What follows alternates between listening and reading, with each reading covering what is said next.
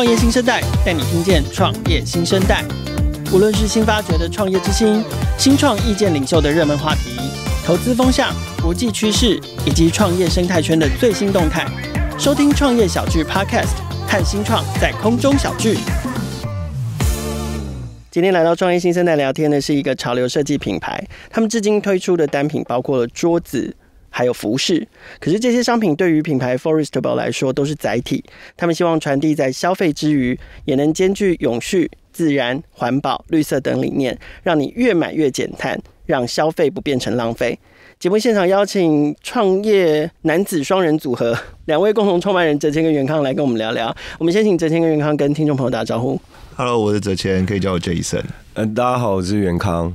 好，元康大家都叫你元康，这样吗？是，OK。好，那个我知道 Jason 是广告业出身，元康是演员，是，可不可以两位分别介绍一下自己的经历跟背景？好啊，我自己是念广告系的，然后毕业以来就是一直在从事着广告相关的呃工作，这样子。我前一份工作其实是在奥美广告这样，但是在广告这条路上，其实有中间有插出去，稍微游山玩水了一下，我跑去那个。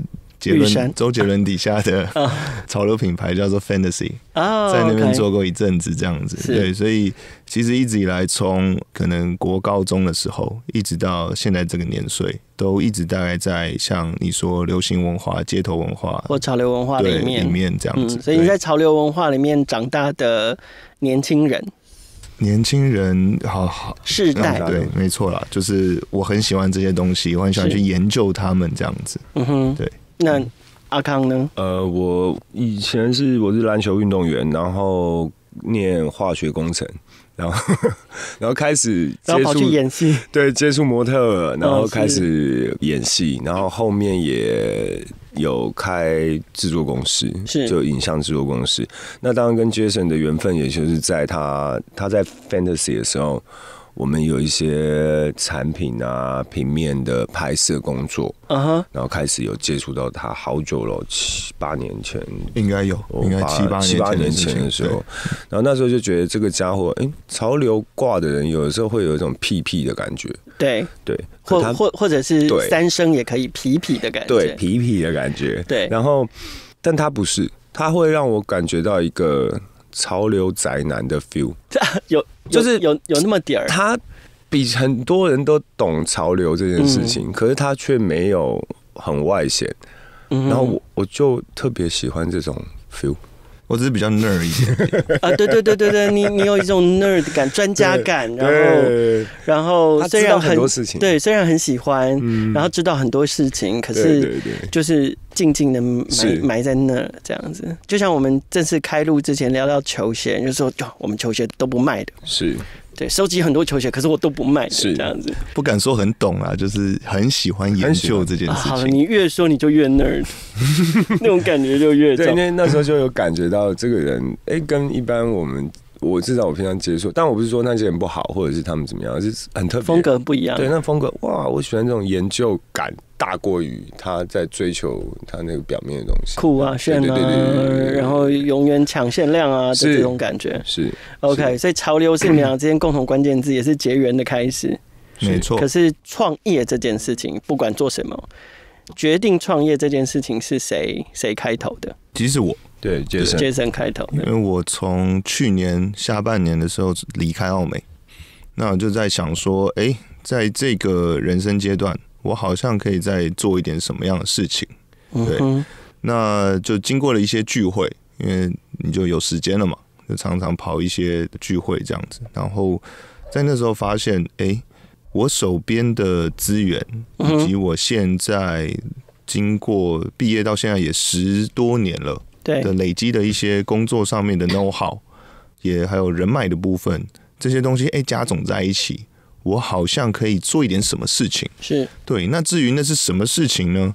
我我就是从我自己心里的那个梦想来去看。对，那最一开始其实就是哎，我想要因为一直浸泡在这个文文化里面嘛，嗯，所以我觉得所有的喜欢这个文化的小朋友们。他应该都有这样子的梦想，如果能有一个自己的品牌，那该有多好！嗯哼，对，能够穿自己的品牌的衣服，哇，那真是太帅了。嗯哼，对，很单纯，就想干这件事情。所以你你反而是因为想要拥有自己的品牌，所以想要创业，可以这么解释。对，那只是在这，因为从算是从年初正式开始启动这个 project，然后不断不断的修正之下，我发现，哎，我们好像可以越做越大。嗯哼，对，所以才才慢慢的一直去修正，一直让它不断的去长大，这样子，我们没有去局限我们自己。所以那个 original idea 也是来自于 Jason。对，可是我不确定，就是说，你你你有了想法，你有了一个品牌。嗯，好，然后想做自己的品牌，问题是那个品牌是什么？产品是什么？产品会是什么样的风格？它要传递什么样的价值？这一件事情，就是说有了想法，你就确定做法嘛，因为。比较多的媒体露出，其实现在都着重在你们现在的这个产品，就是买 T 恤送那 NFT 的这个发表上面。可是我想回到再开头一点点，就是说你们一刚开始想要有自己的品牌，可是你们打算怎么做？然后你们有设计了什么什么路径吗？或者是设计了什么做法吗？或者是做了什么样的尝试吗？一开始就有，因为你知道。很多的创业家其实都有伟大的航道嘛，嗯，所以就是你是一开始就很清楚我的伟大的航道就是这样，然后方向就没变吗？还是你们还有做一些修正？哦，我我我刚才在听杰森讲他关于那个他因为喜欢想要用一个品牌所以可以创业，我觉得那个感觉比较像大家都知道牛奶是一个很好的东西，对对不对？牛奶对身体很健康或干嘛。有些人 maybe 反对了，但绝大多数的价值是好的。所以，当你想要喝牛奶的时候，你就开始想着如何喝到新鲜的牛奶，你就开始养一头牛。对，当你养一头牛之后，你就发现，呃，这头牛要养好，它必须要有好的牧草，好的环境。你就开始种牧，就开始种牧草。哎，你就开始去寻找更棒的土地，对，去建立更好的农场。结果你养着一头。瞬间瞬间变两头，再变三头，你就变成一个农场主人。那我觉得杰森在做他的呃这个 idea 的发想的时候，有一点对我而言就像这个样子。嗯，那个时候你已经加入了？还没有，是是他嗯今年三月呃没有去 去年去年底底去年底去年底跟我聊这个事情，因为那时候刚好我制作公司，我也觉得有一点点疲累了，然后。好想要去换一个环境，去继续的做一些自己想做的事情，对，发挥创造力。对。然后当他跟我提这个 idea 的时候，当然就提到一些关于永续的概念。然后我说哇，衣服，因为本身就喜欢潮流相关的东西。然后他又提到永续的概念之后，二话不说就觉得，哎，这个是应该要做，而且它是好的事情。嗯哼，所以才。开始了这样子更密集的接触，那当然在同时他自己也是一直在这个里面去分享很多他的想法跟他的概念，嗯哼，所以我会觉得对于这部分，他就是那个牧场的主人呢。嗯嗯，可那那为什么是永续？养了牛就。宰了，然后卖牛排就好了。对，为什么要永续？我我们回归最原始的那个 idea 好了。其实，因为我们这浸泡在这一个消费文化里面，其实非常的久。我以为你要讲牛奶。嗯，牛奶浴其实也不错啦。好，对。那在这个消费文化里面，其实你会看到很多的，不管是炒作或者是过度购买，就是滥买对的一个状态出现这样子。那其实然后假货。呃，假货对，那也是衍生出来另外一种烂烂对对对对烂或是呃过度制造高级 A 对 A 货。那我我们其实很希望就是大家去选择他自己真正喜欢的东西，嗯，而不是说今天流行什么我们就一窝蜂的去购买什么。嗯哼，对我觉得也是因为刚好我到了这个年岁，我知道我自己真的喜欢的东西是什么，我真的什么东西适合我。那我会去做这样子的购买，对我还是会想要买东西，我不是只买我需要的东西，对，但是至少的这个想要的东西是会让我用比较久的，因为要以前的那个大家都说从模仿开始嘛，跟模仿跟风开始，那你去做这些购买的时候，其实你常常是受别人的影响，受环境的影响，所以你去买了很多。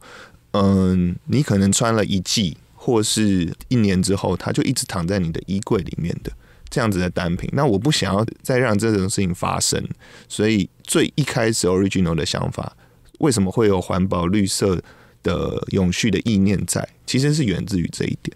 所以这好像也跟你们品牌定名是有关系的。Forestable 这个字是可以拆解的，对不对？对对对对对，就是如果我觉得 Forestable 也好，Forestable 也好，就你爱怎么念就怎么念，反正它是一个自创字嘛。对，那 Forest 呢，其实有往前进 （move forward） 的一个概念。那 Stable 其实是稳定的，我们期许我们的世界是长这样子。那 forest 森林，森林你可以讲说它是环境的部分。那我们好像可以 able 去做一点什么东西。那如果你看到我们的 logo 的话，它是一个正三角形。正三角形其实它是一个回收，呃，对，它其实是从回收标章被转化而来的一个符号。那三角形这件事情，它又是一个很平衡、很象征 balance 的意念。对，那个三角形的 logo 其实是我用手画出来的。那那个手绘感其实。它跟自然里面的一些，所以我们的不完美的完美，有时候它自然里面你找不到直角，你找不到一些正圆正方形，那是为什么？那也是为什么它美的地方。OK。那聊聊你们第一个产品，其实第一个产品并不是现在最近发表的这个，在很多媒体上面可以看到的买 T 恤送 NFT，就是如果用比较通俗的媒体下标方法是这样。那在这之前，我们先聊第一个产品，好不好？好像是叫做 F Table。这个东西其实就是源自于刚刚我们讲说，我们不想要人家去过度消费这件事情。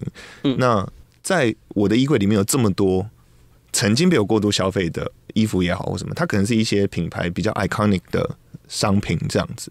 那我只是在想说，它有没有什么方式可以让它重生，变成另外一个样貌出现这样子？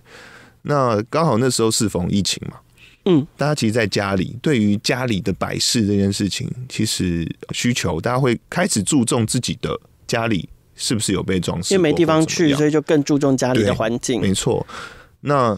后面你也看到了嘛？其实 Forest Table 后面其实是一个 table 结尾，所以我才想说，我们第一个的产品，哎，我们好像可以用服装来去结合家饰类的东西。是对，所以我们拆了很多，不管是国内外的品牌，它很比较经典经典款式，对，然后我们重新把它做成跟一张桌子去做结合，然后来去做贩售这样子。可是它是大量生产吗？其实它都是一比一的，每一每一每一张桌子都只有一张，对，OK，对，所以老实讲，每一张我都很喜欢，对，虽然都卖掉了，但是就是我我喜欢，但我也心疼这样子，对对对。可是回过头来聊一个概念，就是说，其实一刚开始你们设定想要做的是服饰品牌，以服饰为主要作为产品这样子，可是后来发展发展，我知道包含元康的加入，然后包含你你们也跟。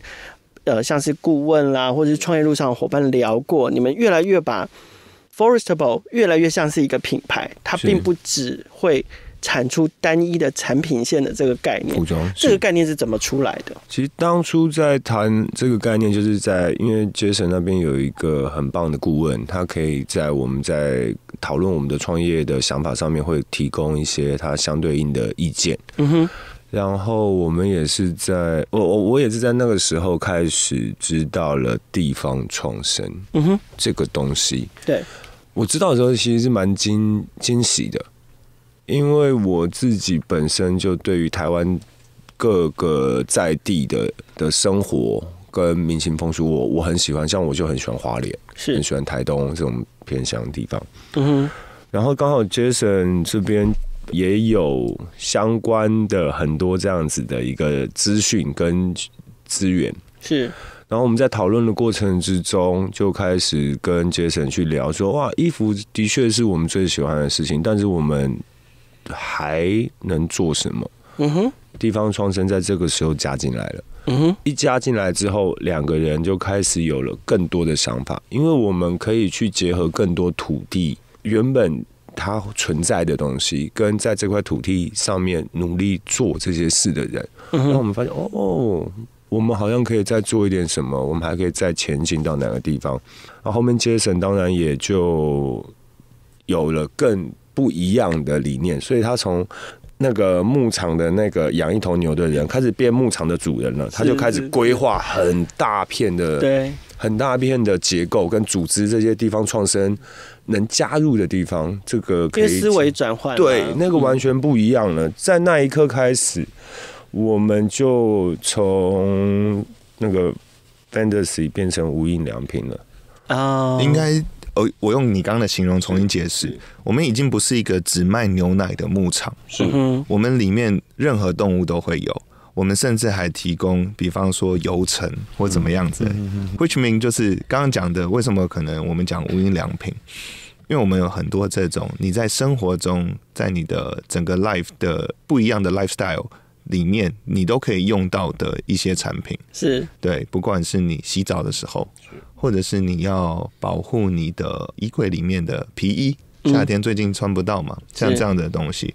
那这些东西呢，都是来自于我们跟这些团队们一起去激荡出来的一些火花，然后去创造出来一个新的产品，这样子。嗯那我们想要用呃 Forestable 这一个品牌去把它做一个，它有点变成一个复活式的一个 lifestyle 的一个品牌。是那打包了台湾最在地跟土地相关的这些的产品，最后 eventually 我们可以去对世界去真的再去用这个品牌去销售台湾这样子。嗯哼，好，所以就来到了第二个产品，叫 Forestables 三一三 Collection，我这样念正确吗？可以，可不可以跟我们聊聊这个 collection？然后它整个消费者的旅程是什么？它好像也不是只有 T 恤跟 NFT 这么简单，它嗯背后其实有一个嗯还蛮重要的资讯要传递。这个东西其实它在发想的时候，最一开始其实是跟着 Table 一起做的，哦，跟 F Table 一起去思考的这样子。嗯嗯，那这个系列其实就是我们第一个算是最 original，刚刚讲到服装的一个系列这样子。嗯哼，对，那创造出来之后，其实我们一直在思考说，我们到底要被别人弄起 T 恤嘛？对，那我要怎么样跟别人有一种不一样被？你讲跟思思一样哦。对，都是 T 恤，我要怎么样跟别人不一样？那以及如何去把我们想要传递的这个讯息。嗯，我因为我们品牌一直在强调说，我们做东西我们要传递的是传递讯息这件事情，我们到底要怎么做，去让这个东西它相对更有意义一点，这样子。嗯哼，那某一次聚会上面，一样是呃我的就是蛮好的 mentor，他们给了我一个 idea 是说，诶，最近他们其实有在做跟碳权相关的一些研究跟事业这样子。那诶 m a y b e 碳权这件事情，它可以加入你的这整个 collection 里面，哦，去传递更多不同的讯息意义在这样子。对，如果讲说它是一个碳中和的一个商品的时候，其实这个概念，因为永续绿色一直有很多品牌在做，是，但是好像比较没有人去把这个东西去把它放到你的呃产品的东西里面这样子。那一开始我我听到了这个 idea 之后呢，我就是一样嘛，因为很 nerd，所以疯狂回家研究这样。研。究，对对对就是疯狂的研究。所以刚刚就跟我们说，二零二六年欧洲什么要针对什么 对就是对。看了超级多的 paper 之后呢，对。会发现碳权这东西还是一个很空泛的东西。然后刚好因为那个那个聚会大概在去年年底的时候，是。然后当然同场也有呃一些前辈他们在做就是跟区块链相关的事业这样子。嗯，那我们就想说，诶，刚好这个 timing 点，这么一个虚幻的东西，这么一个没有重量的东西，应该要结合另外一个更虚幻的东西。对，但是因为那个虚幻的东西，它让这个数位的东西它有了重量了。是探权你真的不知道是什么东西，但是上链了，对，因为上链了，变成一个 NFT 之后，它其实有了重量。是对，所以我们才把它打包成一个，就是消费者，如果你买到我们家的 T 恤，买到我们家碳中和系列的 T 恤，你会有一个对应的一个呃，我们帮你购买碳权的一个凭证。是每一件 T 恤 average 的那个制造的排放大概是十五公斤的二氧化碳排放，嗯哼，那我们会分配每一个二十五公斤的碳权凭证给你，碳权凭证绿能的碳权。那这个标的它其实是跟国外的第三方单位，然后这个标的是在台中的张斌那边的风力发电的绿能碳权这样子，所以 over promise 你，让你拿到这件 T 恤的时候，它其实是一个碳中和的一个状态。是，然后它的这个 T 恤你会拿到一个实体的商品，那你还会有一个数位的一个资产，这个这个碳权就用一个 NFT 的方式来让你取得这样子。对，没错。那等于是我也没有用比较贵的价格去贩售给你，其实也是一个一般我们在台湾品牌看到的一千多块的一件 T 恤。那你拿到了之后，你还会有一个数位的一个资产这样子。那这个资产也其实是有点像是早期支持 f o r e Stable 的证明。对，未来我们会给他更多的 privilege。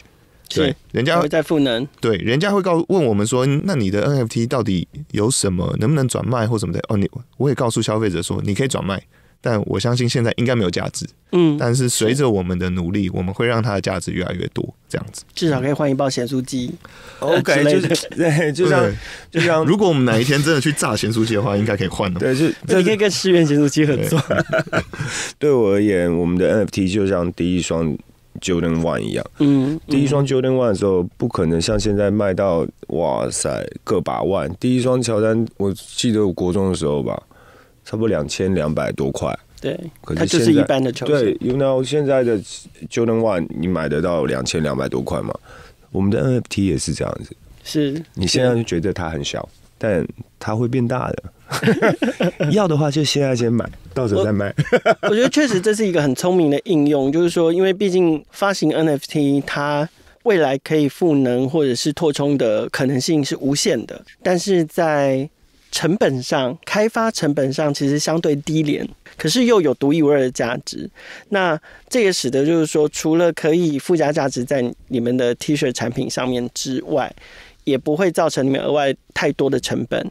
这个成本也就不会转嫁到消费者身上，所以才会构成说，像刚刚 Jason 讲的，我们来购买 Forestable 的产品，那它并不会因为哦，它有碳权，它有 NFT，所以它可能一件就比其他的衣服贵上许多。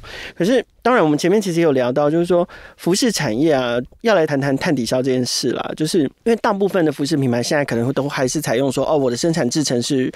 全数采用绿能，啊，或者是我全数采用再生材料，我我使用有机材料，虽然有机材料有时候又有人权的问题。有些人会说我是用生物基材质，有些人就是比如说开发新的 fabric，咖啡沙、牡蛎沙、保特瓶沙，甚至放大到永续议题来看，有些人强调就是说我是友善生产、友善制造，我不是用血汗劳工，我没有用童工，我没有用什么。那碳权确实前面都聊到，它它比较现在还比较。早期啦，就还不是那么成熟。虽然说整个世界的趋势就是会朝向将来要开放碳交易这件事情，可是现在至少对台湾来说，这件事情还是一个比较陌生的议题。那你们为什么还是选择要使用就是碳抵消这个价值在你们产品的附加价值上？就是说会不会担心，比如说，好，我我去抵消一个碳牌，我去取得一个碳权，其实只是买一张赎罪券。会不会担心有这样的质疑，或者是你们怎么看待拥有碳权之后会发生什么事？这个事情不只是实质的效益，或者是可能是抽象的价值。我觉得可以分开两块来看好了，一个是产品本身，一个是在制造时候的发生这样子。那我们在做的事情是。我们在制造的时候，我们去抵消了这个所谓的碳排放。会去明它其实有点像是你在制造过程中，你所用的能源是绿能，有点相对这件事情，就是你让消费者知道说，你在购买这个产品的同时，或者我们在制造这个产品的同时，在某一个世界某一个角落，有另外一件好事情正在发生，就是可能是绿能这样子。那另外一个议题是说，在生产材料这一块。其实我们做了蛮多的研究，就是很多的布料的的材质的运用上，很多再生布料的材质。那真的尝试过后，其实我我觉得还是要回归到我们最习惯的一个方式，因为人类的习惯其实是难以改变的这样子。然后还有一个点，其实是因为我跟阿康都是个非常怕热的人。棉这件事情其实对我们来说是比较容易接受，也是一般大众消费者比较容易接受这样子。那至于问我们说未来有没有一些再生材料的一些开发，其实是有的。像刚刚我们提到一些跟一些地方创生的团队，未来也会有类似的东西，是我们觉得合适的材质，对，也不断的在开发当中。嗯，对。那讲到碳权这件事情，其实为什么会选碳权来去做？老实讲，我们只是想要给消费者一个新的概念、新的知识，因为这件事情它一直在发生，它只会一直往前走。那刚刚提到了嘛，二零二六年欧盟要开始收它的边境的碳税的时候，那这件事情它最终都会转嫁到我们消费者身上。那作为一个传递讯息的品牌，其实我们我们想要让消费者是，我们丢一个钩子给你，对，那什么是碳权？什么是碳综合 T 恤？诶，我看到的时候，我觉得这件衣服好看，可是他是说他有碳权，那这是什么东西啊？那对一个有意识的消费者的时候，他会去研究。他会去往下看，说这个东西到底是什么，那那才会真的达到我们传递讯息的这个目的。这样子，对。所以那为什么我们这样选？为什么我们选 NFT？其实也是，对。说明白了，就是在这样子的潮流上面，我们想要去传递一种这样子的，呃，可能你说政治正确，或者是对地球友善的一个这样子的讯息的时候，我觉得。我们要运用很多现在他们会好奇，或者是说他们会有兴趣的一些议题去讲这些东西，不然你一直跟人家讲说北极的冰山要融化了，虽然最近真的是热到爆掉了，应该大家很有感，是啊，对对对对对，肯定有感。对，但你去跟小朋友说哪里的生物要灭绝或怎么样，他会觉得离他太远，是对。因为我我讲一个比较就抽象的一个部分，就是你要选择影响别人，最重要的，我自己觉得最重要的地方是你必须跟他站在同一边。嗯因为当你跟他站在同一边的时候，你才有可能影响他的想法。我们不是一个说教者，我们不是来告诉你。路要左边右边的，没有没有没有，我们跟你站在同一边看那条路，嗯嗯，哎这条路哦，我是这样走的哦，哎我觉得好像是要往这边哦，嗯哼，好像往那边，我觉得这边怎么样？我们试的是用讨论的方式，嗯哼，去跟他站在同一边，然后告诉他这些事情，再来就不是我们的事情了，嗯，再就是你的选择，你要怎么面对这个世界，你要怎么面对你未来的样子，那都不是我们能决定的，我们只是提供了一个，开启一个对话，对。我们打开了那一个，打开了那一扇门而已，进不进去那是各自的主张嘛。对。然后我会觉得说，像包括探权也好，或者什么都好，那些东西你会理解到这个东西是对世界是有实质存在的意义。嗯哼。然后包括会不会是买一张赎税券这一点，其实我跟杰森也也讨论过好多次。我们第一次碰面就在讨论这个。对，就就在讨论那个，就是哇，那这样子大家花钱就可以做环保。哥，其实你想一想看，你住在一个房间里面，你本来就应该要对你的房间好一点嘛。嗯哼，你本来就应该要哇打扫或干嘛。地球就是我们的房间嘛，你做这个事情并没有不好啊。你花钱买这个 吸尘器是错的嘛？没有错，你是为了让这个环境好一点。只是你要知道这些东西是从何而来。嗯，比较重要。对对，我为什么要做这件事情？不是我，我是一个补偿心态。是因为关于这个部分，呃，，Jason 后面也有一个计划，是让我们自己拥有能生产碳权这一个机制。嗯嗯，他其实很早就在想这个事情。从我们在讨论碳权的存在的时候，他就觉得。我们虽然现在是透过第三方认证去购买封冰那边的碳权，对，可是他一直在思考的事情就是，我们必须要拥有我们自己的碳权的产出。是他那时候一直有在寻找，比方说太阳能电板的搭搭建的厂商，跟刚好我们后面会聊到的一个合作单位——地方创生的合作单位——木作达人的一个花莲的计划。嗯，它这些东西它都是有规划的在执行。让所有的东西变得更落地，而不只是一个空泛的口号。这件事情我们可以在后面再对，我们待会可以再聊一下，是让它更落地而不空泛。可是我我因为就是像 NFT 啊、永续啊、碳权啊，都是一些比较比较新的概念。这么多新的概念加在一起的时候，要跟消费者沟通，你们觉得这件事情容易吗？尤其你们针对的 TA 又是 Under Thirty。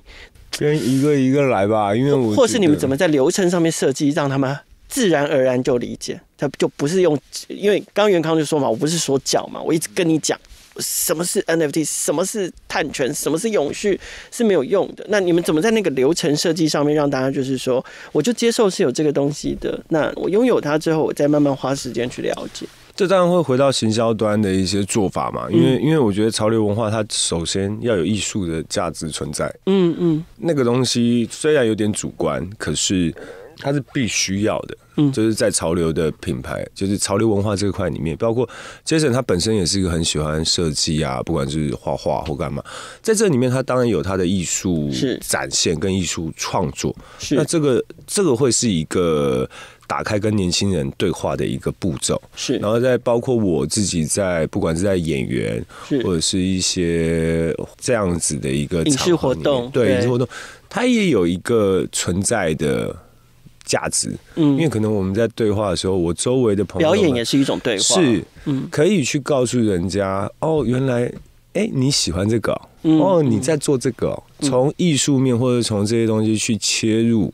让大家看到这个事情，是我们才能吸收。就是我喜欢你画的衣服，画的图案。哦，你为什么要画这个图案呢？嗯嗯，我们开始慢慢的从这地方切入，包括碳排放啊，或者是这些碳权的议题啦。那消费者要取得这个 NFT 很难吗？就是说钱包啊注册啊，就是因为很多人很多人现在其实对于持有 NFT、拥有 NFT 会望之却步的原因，是因为他们。因为搞不懂那个什么链，然后什么钱包，然后什么什么什么提示词，对。其实我我们当初在选择合作伙伴的时候，也有考量到这一点。那我们有一个很棒的合作伙伴 J Car。哦，OK。对，那 J Car 其实一直在推广，就是台湾的呃 N NFT 的像这样子的，不管是 Marketplace 也好，或者发行也好，这样子是。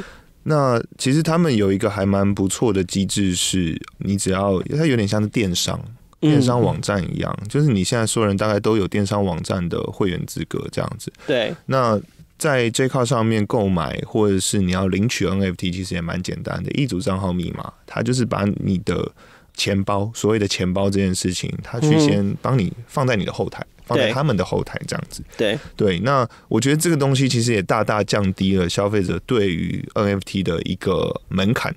因为说真的，我当初自己在研究的时候，你说 MetaMax 真的把你搞到，就是有时候会呃，好，一直很想放弃这样子。对对，那我我觉得是不是？当然会有真的 NFT 的所谓的藏家或者玩家会觉得说那样子我好像没有真正的去拥有这件事情，就不在自己的钱包里面嘛。但我我觉得就像我我刚刚讲的，如果今天我们是一个呃敲门砖或是一个钩子 hooker 的一个角色的话，嗯那其实这样子的呃方式让消费者比较简单的低门槛的先去拥有之后，他真的有兴趣。他再去做下一步的，不管是你真的要自己开钱包，一个独立的钱包或怎么样，因为我们现在也还是做得到。对，我们现在也有机制是可以直接让你的就是 NFT 拿到放在你的钱包里面。嗯，对，又或者接下来未来它也可以被放在其他的第三方的平台上面去做销售或怎么样子。这些我们后面应该说 j r 是一个很好的伙伴，他们持续有在做这样子。那重点还是去把那个门槛去降低，让它比较好的去取得这样子。嗯，好嘞，谈谈下一步。刚刚袁康其实已经有透露嘛，Jason 从一刚开始就想的很远了，所以现在已经在准备下一个计划。除了碳权交易之外，你们预计还会采用哪一些方式实践永续，或者是在碳权这个议题上面更进一步？下一步是什么？好，就像我刚刚说的，我们其实跟很多的不同的地方创生团队。嗯，一直都有在做讨论。嗯，对。那不管是说像跟新竹虎口的木作达人，嗯嗯，或是我们节目也有采访过，对，或是台南关田关田乌金这个品牌，是。对，那我们还没有采访过，但是我们七月初还是这个月七月初在台南办活动的时候，邀请到他们把菱角壳转换成燃料。碳。那他们都做非常多的呃很多跟循环经济相关的东西。那甚至在台南，我们有认识一个团队叫做 He 邦，他们用海里的废弃渔网，是。对海废来去回收之后，重新做成眼镜的镜架。嗯哼，对，嗯哼那我们都、哦，有有有有有，他们之前有在，应该也是在泽泽几支没错，那等于是我们会跟这些品牌再去做进一步的合作，推出像我们自己的产品，或者是呃联名的一个商品，或者甚至哦共同一起去经营某一个特别的项目，这样子。蛮聪明的策略。可是像花莲呢，你们刚刚有讲到在跟木作达人要在花莲做什么，呃，可以讲吗？还是还不能讲？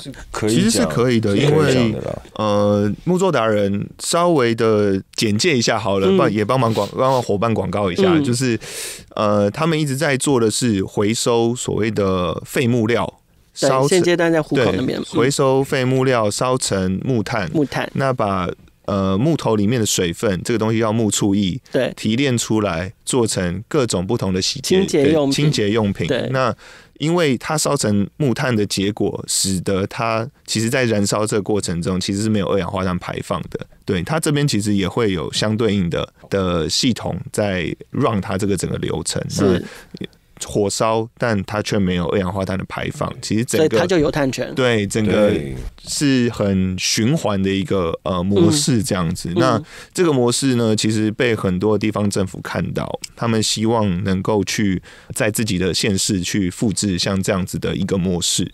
对嗯哼那花莲可能是我们的第一站，，OK 对。那因为回头再讲一个故事好了，国产材这件事情。嗯，全台湾呢、一年大概会有六百到七百公吨的木头、木材，木材木材要被拿来做装修，的去进进口台湾。对进口到台湾来。是。就是我们利用这些东西、这些木材去做呃各种不同的装修，但是里面呢只有不到两 percent 是我们自己国家的、自己这片土地的原生的木材，原生的木材这样子。嗯。对，那花莲的林务局其实他们就很想要去推做这样子的推广，因为其实花莲有很大的林场这样子。嗯，对对对，那这是我们未来的呃另外一个计划，是一起跟着木作达人，我们一起到花莲去呃做这一方面的呃，不管是呃设计设计也好，或是产品的调整，或是这样子的东西，然后废料再回收，对对对对，然后再进到那个对对对，等于是一整个木作循环，因为它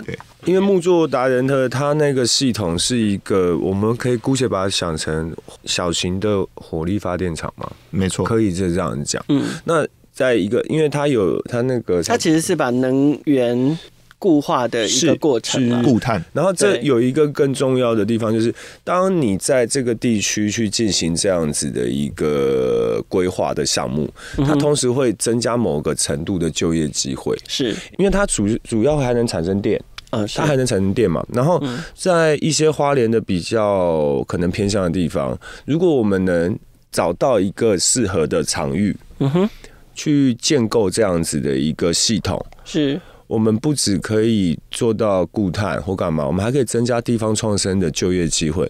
因为可能对于偏乡的一些电力上面的供给，都可以是纳入这个考虑这个项目里面的。是，那他还可以卖电，把电卖给台电，他可以会有一定的报酬，然后增加当地偏乡的工作机会，然后包括跟固碳的东西。嗯所以这嗯个是我们觉得我们必须要做的一件事情，它是一个更全面，而且是对这边而且更有主。动性的事情。是是是是是，好，节目最后要邀请你们来聊一聊你们创业过程哦，因为我觉得作为一个刚起步的新创品牌，你们想要挑战的题目，不管是绿色、潮流、设计，都是蛮大的题目。那第一个想问问两位，就是你们觉得在创业起步的过程中，比别人比较幸运的地方在哪里，或者是比别人拥有哪一些比较多的资源？我觉得用用阿康讲的话好了，我我觉得我很幸运的地方是我有一个有爱的家庭。呃，这好老调 baby，当我知当 love，OK，这是雷神索尔的那个爱与雷霆，这样。爱与家庭，呃对，爱与家庭，我我开始决定想要做这件事情之后，其实家里是真的无条件的支持啊。他们两个老人家也就是拿出身边所有的资源是。来完全的 support 你这样子。是，对，那我也觉得我在这一条路上，虽然短短没有很长一段时间，然后有像阿康这样子的伙伴就是很认同像这样子的理念，然后加入，然后能够一起去努力吧。对，嗯哼，OK。可是创业的船刚下水，伟大的航道才刚要起航，所以现阶段对你们来说缺乏哪一些资源，或者是你急于克服的挑战是什么？对啊，就前面聊到我们想要做的事情很多，很多个面向。老实说，不管是从最前端的我们给消费者看到的一个样貌，或是后端我们想要做的一些对土地有意义的一些建设也好，或是 project 也好，这样子。那公司。现在算是刚成立，那其实我们也期待有很多的伙伴能够一起加入我们这样子，对，因为我们缺乏更多的伙伴加入我们，所以现在在听这个 podcast 的朋友，如果你们听完以后有很多的想法，欢迎去上一下我们的网站，跟我们联络一下，想 要加入这个团队，Be the voice, not noise，我们会成为声音，而不是噪音。今天非常感谢 Forestable 的两位共同创办人 Jason 还有袁康来到创业新生代的节目。我们的节目在各大平台都能听见，欢迎订阅、分享、给五星或者是留言评价。也邀请大家来了解 Forestable 对永续的努力与倡议。更欢迎新创生态系的伙伴来信自荐接受我们的采访。新创的能量代表这个世界创新的力量，邀请大家每周三锁定收听，和创业小聚一起共同关注创业新生代。